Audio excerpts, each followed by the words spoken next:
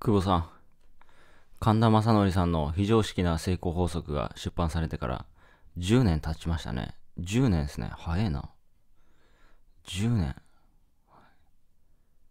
10年ですね。いやー。ま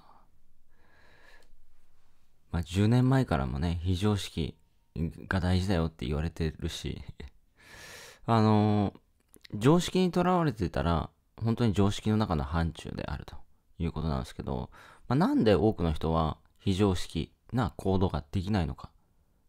まあ、これについてちょっとお話ししようと思うんですけど、まあ、非常識なあ行動ができない理由は、もう一つです。常識の世界で生きてるからです。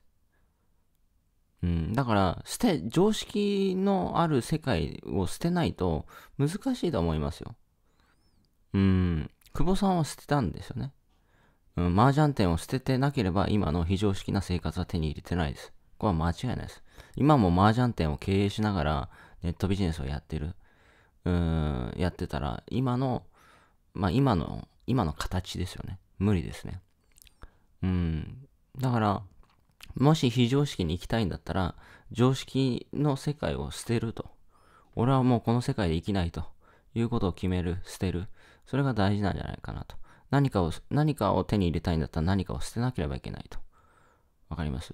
僕も鹿児島に行かなければ今の生活手に入れてないですから。いや、本当に。もう間違いないです。いってらっしゃい。